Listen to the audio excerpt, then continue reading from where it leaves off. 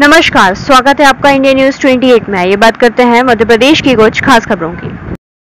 पूर्व मुख्यमंत्री कमलनाथ के जन्मदिन पर जिला चिकित्सालय में मरीजों को फल वितरण पांडुरना। पूर्व मुख्यमंत्री कमलनाथ के जन्मदिन दिवस पर पांडुरना जिला ब्लॉक, नगर कांग्रेस कमेटी के पदाधिकारियों द्वारा विधायक कार्यालय में केक काटकर एवं जिला चिकित्सालय में मरीजों को फल वितरण कर हर्ष उल्लास से जन्मदिन मनाया गया।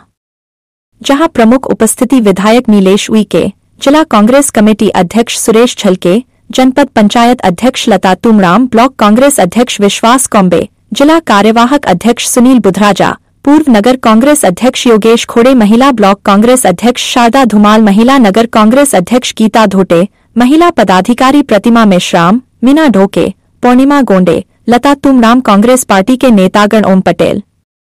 विलास डोंगरे, सुनील सुले प्रमोद बॉम्बल नपा प्रतिपक्ष नेता सुरेश सुरजुसे शेख।